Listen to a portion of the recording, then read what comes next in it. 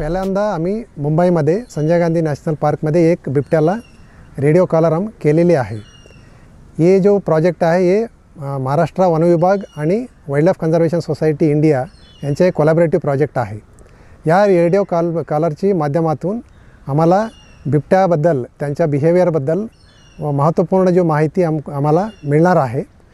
जसे बिबट्या कुठे कुठे जातो काय खातो आणि त्यांचा जो डिस्पर्सल पॅटर्न आहे याच्याबद्दल आम्हाला एक महत्त्वपूर्ण माहिती मिळणार आहे. ही जी माहिती आम्हाला पुढे मानव आणि वन्यजीव संघर्ष कमी करण्यासाठी महत्त्वपूर्ण ठरणार आहे.